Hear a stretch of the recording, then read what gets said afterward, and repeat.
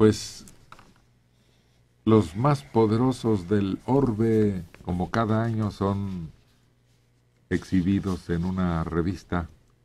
El presidente de Estados Unidos, la persona más poderosa del mundo. Después, la canciller alemana. Mm. Y atrasito el presidente ruso. Según ayer, hay solo seis mujeres y seis latinoamericanos en esa lista. Pues nos importa poco, pero al fin y al cabo no es más que una página más de la historia del mundo en el que estamos viviendo, ¿no? En los diez primeros lugares está Bill Gates, que ya sabemos a qué se dedica. Bueno, es que no solo se dedica a su negocio, sino que es un, benefactor. Un filántropo de primera importante. Luego viene el Papa, que a pesar de no ser muy relevante su labor, pues es Papa de, una concentración enorme de seguidores de una religión. También aparece por ahí Peña Nieto en un lugar como 56. No, espérate, estamos con los importantes. Ah, bueno. después sí, pues ¿cómo comparas a Peña? Mira, estoy hablando de Merkel, de Obama, de, Putin, del Papa. No, pues espérate, todavía falta mucho para que aparezcan. ¿En qué estábamos? Ah, en el Papa. Sí. El rey de Arabia Saudita, que tienen tanto dinero producto del petróleo, además que son tan poderosos por eso mismo. Ellos sí saben para qué es el dinero. Ah, sí. Son los lujos más exorbitantes. Extravagantes. Sí, pero benefician a su población, no pagan impuestos. Ellos saben vivir bien. el presidente del Banco Europeo, el nuevo líder chino y el primer ministro británico. Bueno, pues esos son. Después, mucho antes que el que nombró Liliana, está Carlos Slim, que hemos dicho aquí ya, según un estudio que es el más rico, rico, rico, rico, al grado que es el más rico que cualquier otra fortuna en toda la historia del mundo. Aunque parezca exagerado, pues así es. Bueno, y, lo curioso es que está el Chapo Guzmán en esa lista. Pero ¿cómo calculan su, su dinero o su poder? Pues yo creo que el poder, como corresponde a esta lista, está más que demostrado con tantos años en los que él ha logrado evadir a la justicia, eh, extender su red a Centroamérica y Europa, la gente que trabaja bajo sus órdenes, pues cada vez es más comprada, desde luego, pero ahí hay poder, donde hay dinero hay poder, y donde hay poder hay dinero. También menciones en notas a lo largo del año. También eso, eso cuenta. Su presencia en medios de comunicación. En medios, yo creo que así hacen la evaluación. Está Hugo Chávez, que sí, pues la verdad es que el petróleo y su forma de gobernar le han dado una notoriedad muy, muy destacada, ¿no? Sí, su cercanía con Cuba. La presidenta de Brasil, Dilma.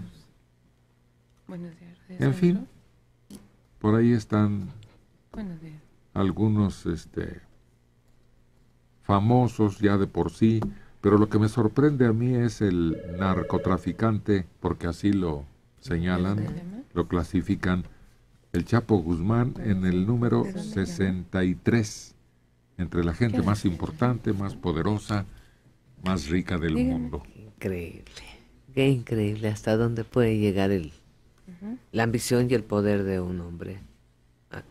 figurar en una lista de estas que en la vida se había considerado un narcotraficante, ni para esta ni para los más ricos del mundo. Oye, este hace que nos burlemos de los mafiosos. en Estados Unidos, Al Capone. De Kinder. Sí, sí. Sí, Al Capone era de jardín de niños. Eh, no, no llegaba donde ha llegado este. O los, los mafiosos italianos. Lux Morán. Pues recuerden que Capone no vivía en la clandestinidad, vivía abiertamente y se cambiaba, tenía su residencia en, Miami, después regresaba a Chicago. todo el mundo sabía dónde andaba hasta que lo pueden capturar. Pero el Chapo vive en la clandestinidad. Pero yo creo que supuestamente, porque si lo mencionan, si saben cómo extiende sus áreas de control, si saben que tiene un grupo aquí, así como clandestino, clandestino, no está. Tú supones que está protegido por políticos. yo siempre he pensado que lo protegen no solo desde nuestro país, sino desde otros países lo protegen, precisamente por el poder que tiene por los alcances que ha llegado a tener en contra de quienes no les gusta su actividad? Pues muchos analistas han dicho eso, que no podría actuar si no tuviera la protección de un grupo político muy importante. Pues sí, es verdad. Y, acaban de salir del poder, o sea que quién sabe cómo se las arregle ahora. Ustedes dicen que la mafia se queda chiquita frente al Chapo Guzmán. Sin embargo, no han considerado ustedes lo que valen Las Vegas, que son cientos de miles de millones de dólares. ¿No valdría la pena hacerle algo similar al Chapo? ¿Cómo, cómo, cómo? ¿Hacerle algo similar a qué?